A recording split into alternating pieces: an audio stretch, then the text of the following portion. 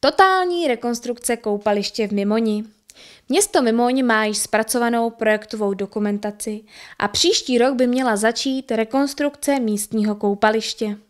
Mimoňské koupaliště. Diskutované, oblíbené a taky před změnou. Já mám u mikrofonu starostu města pana Petra Krále. Dobrý den. Dobrý den. Pane starosto, my možná jako jedni z posledních vidíme ten bazén tak, jak teď je. Chystá se jeho velká oprava, ale letos asi ještě nebude.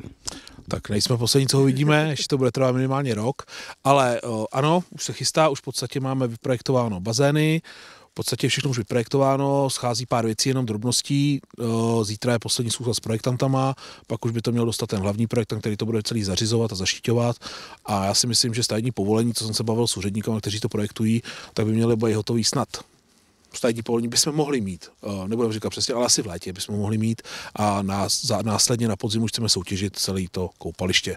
To koupaliště má teda stát asi kolem 50 milionů bez DPH, možná 55 milionů bez DPH. V podstatě, jak to tady vidíte, tak to bude úplně jiný. Už jsem to ukázal na internetu, lidi se to mohli podívat na to. Uh, je pravda, musím teda říct občanům sdělit, že letos koupaliště vůbec nebudeme napouštět. Uh, nebudeme koupaliště napouštět vůbec, protože jsem zjistil, když jsme dělali koupaliště, jsme projektovali, tak na to koupaliště musí být čistá voda, pitná, takže jsme dělali zkoušku z tohoto vrtu, který je zde nový.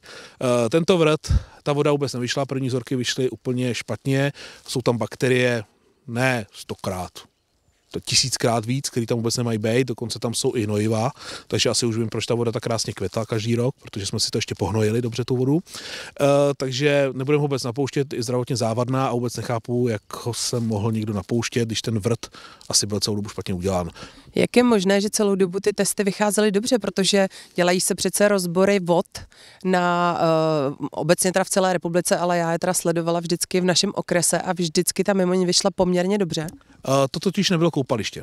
Tohle to, mimoňáci si myslí, že to bylo koupaliště a to nikdy nebylo koupaliště. Posledních 12 let nebo 15 to nebylo koupaliště. Od té doby, co se udělal tento vrat, tak zde bylo zavedeno, že to je jenom nějaká vodní plocha. Eh, to, že se to nazývá koupaliště, něco jiného, ale byla to vodní plocha, protože se zde nevybíral vstup, ani se vybírat vstup nemůže, protože to je vodní plocha. Vzorky vycházely z vodní plochy dobře, protože to je venkovní plocha nějaká, o kterou se neudržuje chemii a takovýma těma věcma. Ale už z toho vrtu teče voda, kde jsou prostě bakterie nějaký, které způsobují průjmové onemocnění a takovéto věci, takže v podstatě tady hrozilo ohrožení života.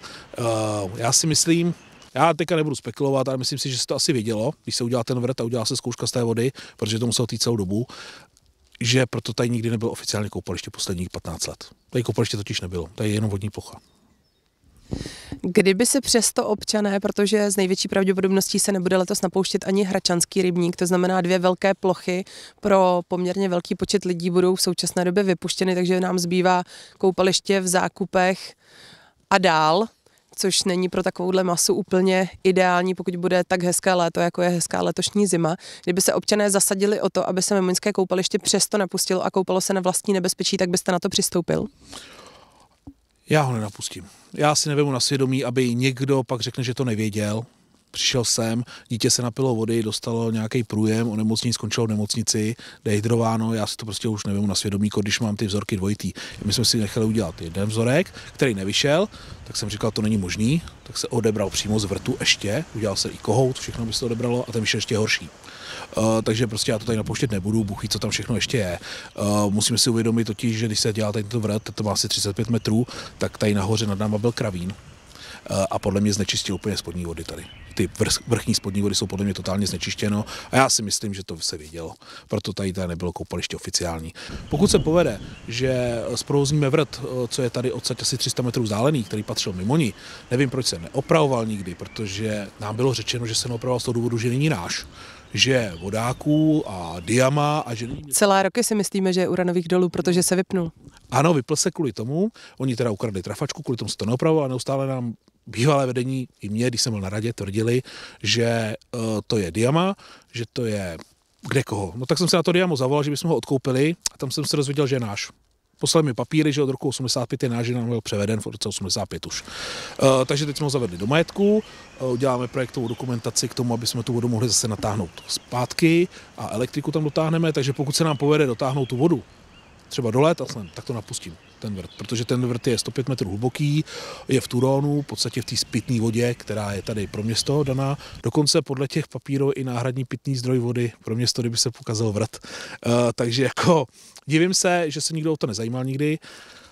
Nemusíme teda vrtat nový vrt, tak to je dobrý. Nikdo už vás tam nepustil. Tenhle ten vrt má výtočnost mezi 30 až 50 litry za sekundu, takže on toto koupaliště 6600 kubíků, teďka to staré, napustí asi za den a půl.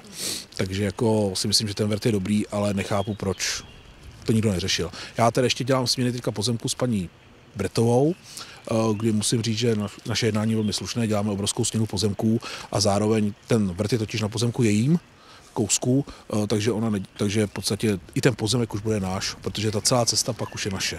Takže díky tomu, že jsme vlastně vrt v roce, já nevím, 2005 se zrušil asi, já nevím přesně 2006, eh, ho přestal, nikdo ho nechtěl opravit, vybudoval se místo tento vrt, který je špatný, eh, tak ten jsme mohli mít trubky, mohl být opravený tam ten vrt a celou dobu mohl týct z toho vrtu a mohli jsme ušetřit 300 tisíc tady za nějaký nový vrt a mohli jsme dát 300 tisíc na trafačku, mohlo být vyřešeno. Chápu to tak, že ho budeme využívat i dál pro nový bazén. Ano, budeme využívat dál i pro nový bazén, protože už teď nám ho kolaudují jenom ten vrat, protože on byl nějak zkušební, asi ho nikdo neskolaudoval oficiálně, ale byl z uranových dolů, takže je používaný oficiálně, takže je funkční. Uh, takže budeme používat tuto vodu z tohoto vrtu na koupaliště, z toho se bude napouštět koupaliště a tento vrt, který má tu vodu spíš fekální, bych řekl, doslovně, protože tam jsou fekální bakterie, tak ten budeme používat jako splaškovou vodu. A moje poslední otázka, která teď určitě vyvstane, když se ví, že máme vrt s dobrou pitnou vodou, která vlastně tady bude mít, napu, která, bude tady napu, ne, která je schopná napustit to koupaliště za jeden a půl dne, je tedy nutné, aby se předělávalo celé koupaliště? Ano je, protože ten vrt, ten to napustí za den a půl, ale my ho nemůžeme mít průtokový protože máme povoleno, jen na tomhle tom vrtu třeba tady tom starém, eh, máme napojeno povolení 6000 kubíků za rok, že můžeme použít vody. Tohle má 6600 kubíků. Takže na tomto vrtu taky dostaneme podle mě tak max 6000 kubíků vody za rok, takže my z toho nemůžeme dělat průtokový za prvý. Když si vezmeme, že to je spodní voda, který bychom si měli nějak cenit, tak tady nemůžu přece pouštět 6600 kubíků každý dva dny, aby to tady protejkalo, aby z toho vzniklo nějaký přírodní koupaliště, protože to už nám nikdo ani nepovolí tohleto. Eh, a já bych byl i proti, protože si myslím, že to je plítvání zdroje.